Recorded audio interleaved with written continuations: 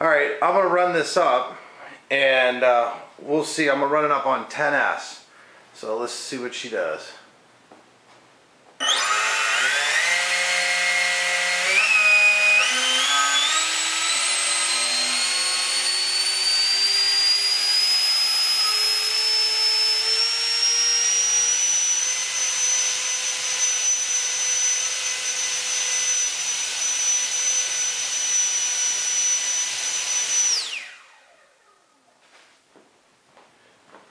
Real, nice and smooth. Let's see what the meter said. 2600 watts at, uh, let's take a look here, see if I can get this to focus. Let me see.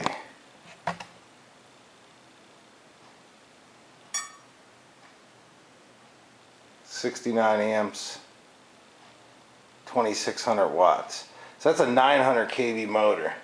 Um, let's see what kind of thrust it gives. This is just a little primitive uh, fish scale deal. Hope I can get it in there so you guys can see it. How many pounds of thrust? See if I can zoom in. Yeah, we can see that. All right, let's give it a try.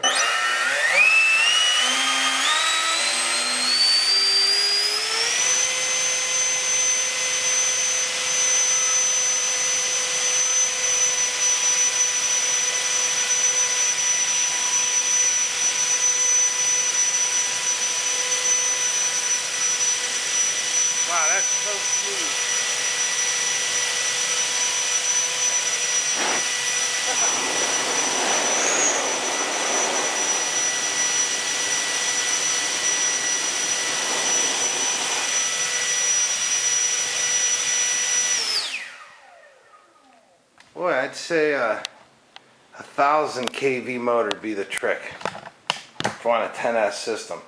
I want about 3,000 watts, just so it's a low amp, low amp draw, uh, about 3,000 watts. That's what almost uh, eight pounds of thrust, and if I get around 10 pounds of thrust at 3,000 watts, that'll be perfect setup. Nice and cool. Everything runs cool. No heat sink on that motor. Oh, I have a little heat gauge. Let's see what that motor's at after that run. Now, it was cold. The motor was about 62 degrees when I started. So 67, 20 degrees. Um, that's all it went up to. Let's see what the speed control. This is an HV110. Huh. Speed control. Now it is, here, I'll get the wood. That's the wood, so that's about the temperature in here. Here's the batteries. Those are XPS. The batteries were at 72 degrees. Those are XPS 5000s, 10, 10 cells, and those are the 65C batteries. So that's the, the Chang Sung uh, fan with a new, see I redesigned the hub on it. The hub was really bad on it, so I, I redesigned a new hub for it. So well, that was really the first run up on it, and it was silky smooth. I put my fingernail on the back of it, and it was nice and smooth. So I think I can push it. I'm gonna run it up on 12 cells next and see. Alrighty, here we go on 12S.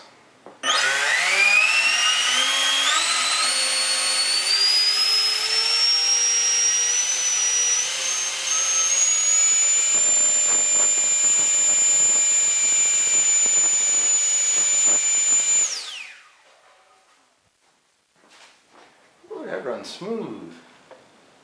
Tell motor's still cold. All right, let's see what we got. I was standing on the other side of the room. I'm smart. All right. 4,200 watts and 93 amps. Oh, wow. 4,200 watts. Holy crap. All right, let's see what the thrust is on my, my high-tech thrust gauge. To make sure it doesn't blow my camera over. Gotta get as close. All right, let's see what it does here.